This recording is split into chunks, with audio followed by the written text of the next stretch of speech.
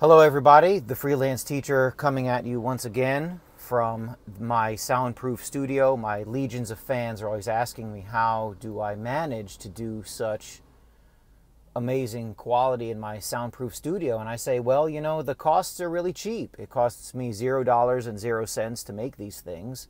It's just a question of time, putting it out there, getting your opinion out there. You have your phone, you have YouTube channel, right? If you have a Gmail account, you make a short video and you upload it to YouTube. And uh, a lot of our teenagers seem to be under the misconception that you may, if you make YouTube videos, then you make a ton of money.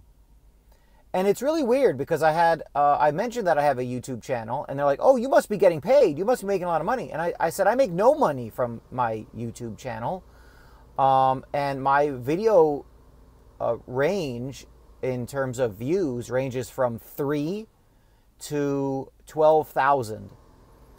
And that's a very small amount. That's a tiny number of videos.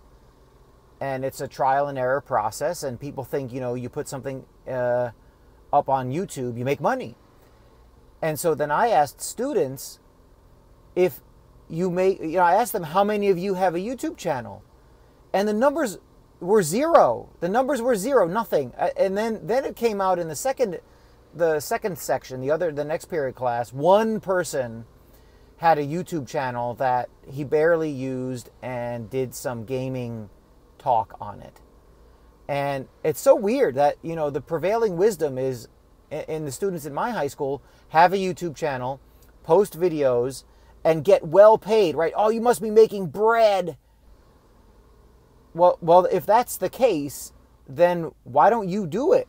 I mean, it's not true. It doesn't work that way. You don't just put videos up and get paid and make a killing and, and retire on a beach earning 20%. You know, it doesn't work like that. If it did, everybody would do it.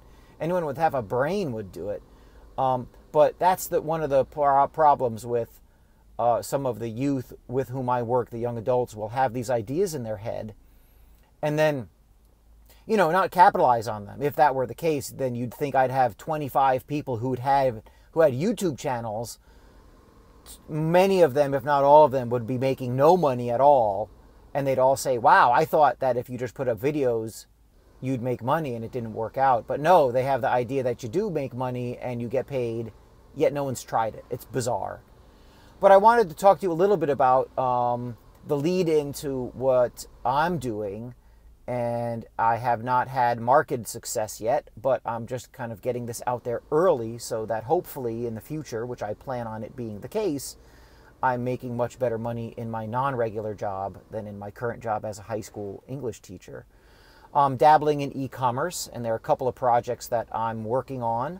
One of them is an online store where it's run by Shopify, and I don't keep any inventory, and I buy products at a, a price X and I sell them for X plus $5 or X plus $10 or, you know, 60% markup or 90% markup or 20% markup.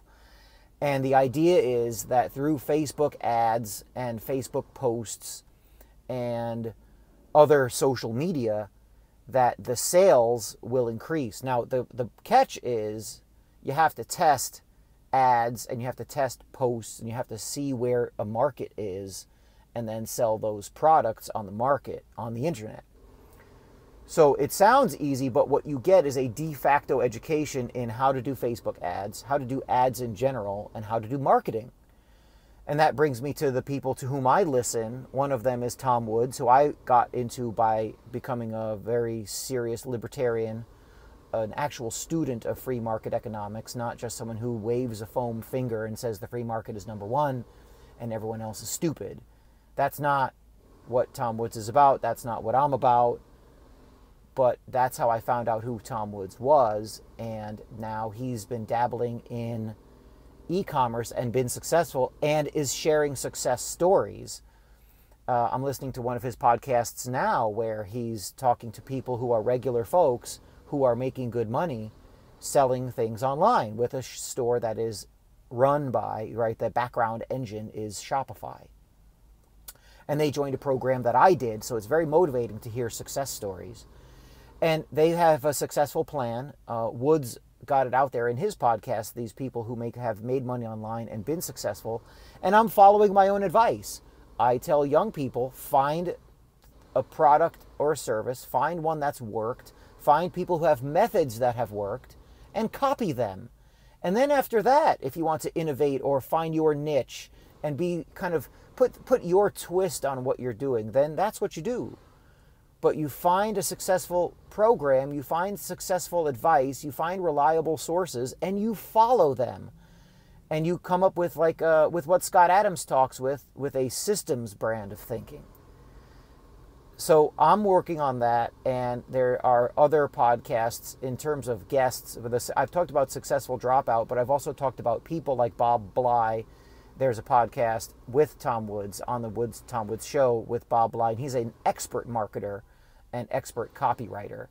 So that podcast I found priceless because it talks about not only how e-commerce works, but how to get people to respond to advertisements.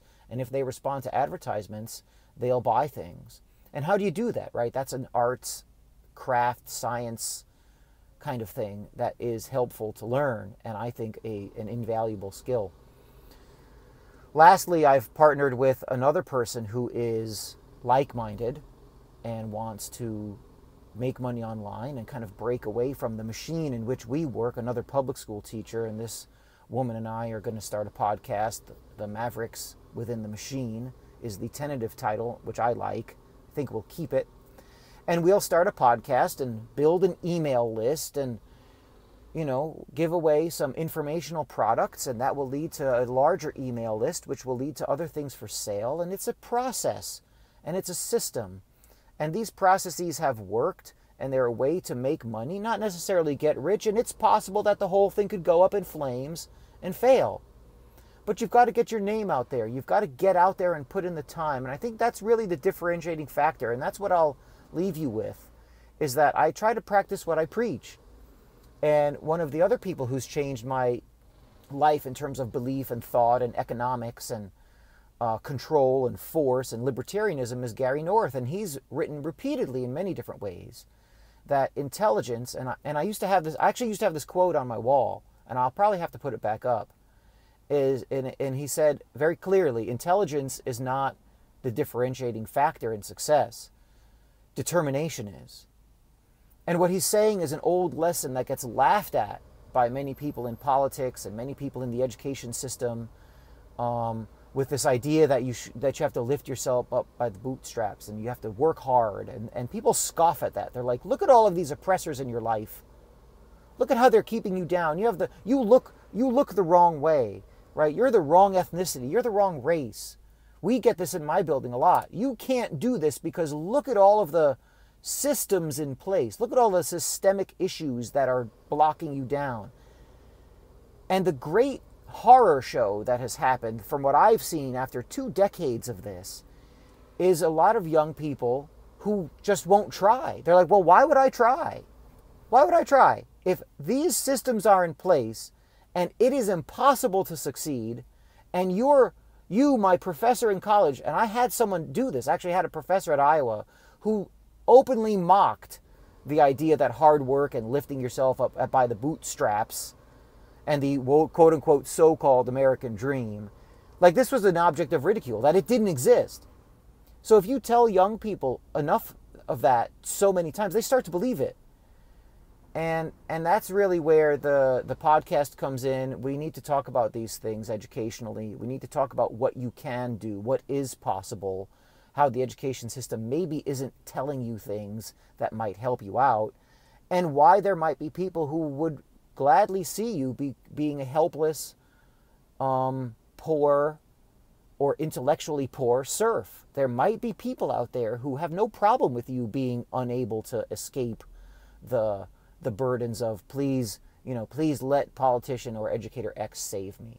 It's possible that there are people out there who like that and need you to be without any skill and be be what I call learned helplessness.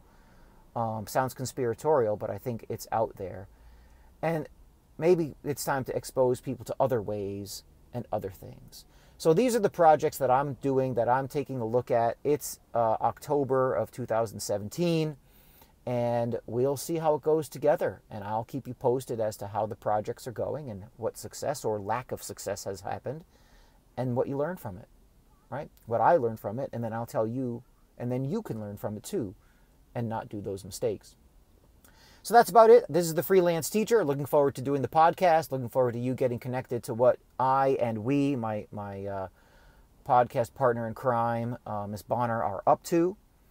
And look for Mavericks within the machine.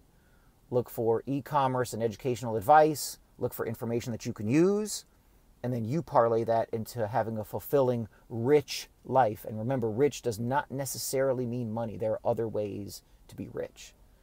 All right, talk to you soon. See you next time, at thefreelanceteacher.com and tfttravelgroup.com. Take care, folks.